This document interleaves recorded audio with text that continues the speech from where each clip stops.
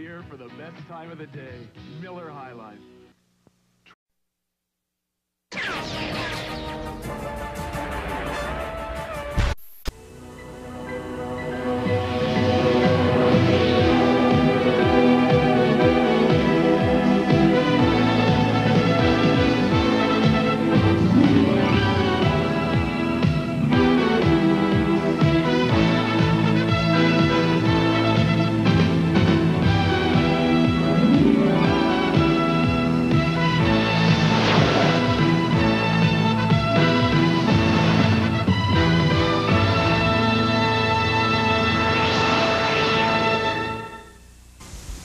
The following movie has been rated PG by the Motion Picture Association of America.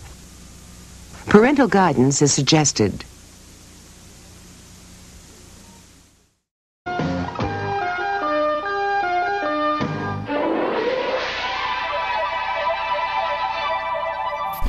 Let's go.